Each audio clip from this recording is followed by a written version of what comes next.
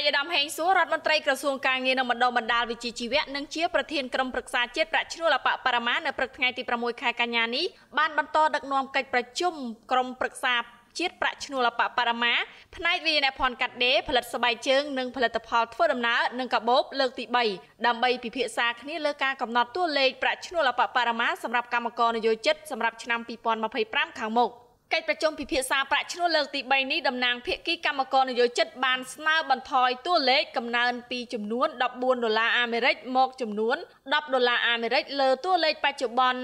204ដុល្លារអាមេរិកនិងតំណាងភាគីនយោជកបានស្នើដំឡើងតួលេខកំណើនពីចំនួន1ដុល្លារអាមេរិកទៅចំនួន2ដុល្លារអាមេរិកលើតួលេខបច្ចុប្បន្ន204ដុល្លារអាមេរិកឯកឧត្តមរដ្ឋមន្ត្រីបានមានប្រសាសន៍ថាក្នុងនាមរដ្ឋាភិបាល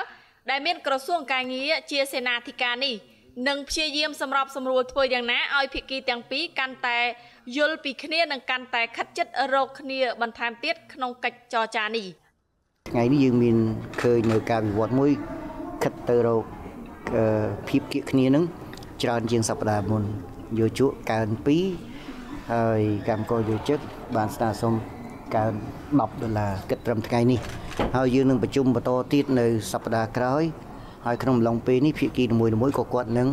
ពិចារណាផ្ទៃក្នុងរៀងៗខ្លួនគាត់បន្ថែមទៀតហើយខ្ញុំសង្ឃឹមថាតាមរយៈការដកឃ្លានៅថ្ងៃនេះភាគីនីមួយៗនឹង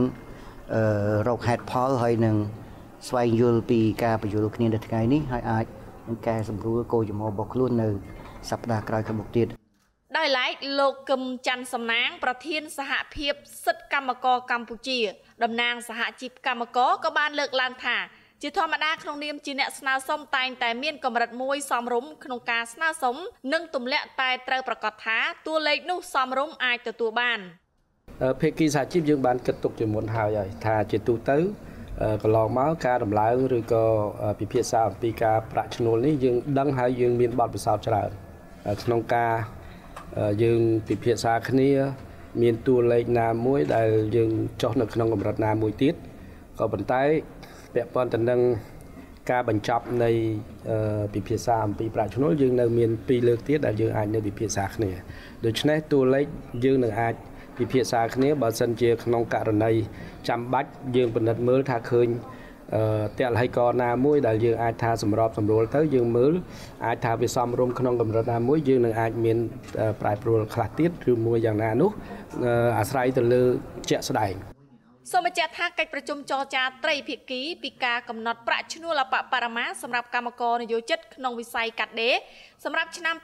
2025នឹងបន្តធ្វើនៅម៉ោង10ព្រឹកថ្ងៃទី12ខែកញ្ញាឆ្នាំ2024កិច្ចប្រជុំចរចានេះនឹងបញ្ចប់ប្រកាសលទ្ធផលចុងក្រោយនៅថ្ងៃទី26ខែកញ្ញា